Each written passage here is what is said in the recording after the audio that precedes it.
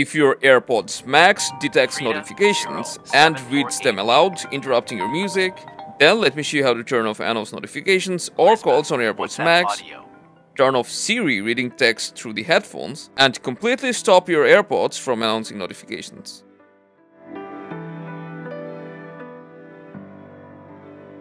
To stop your AirPods Max from announcing notifications, you'll need to go to Settings. Then scroll down and go to Apple Intelligence and Siri. For some of you, this will only say Siri. So open it and just scroll down and from the list, if you want to stop your headphones announcing calls, then first go to Announce Calls and select Never. Then go to Announce Notifications. From here just toggle off Headphones. Now your AirPods Max won't read out the notifications.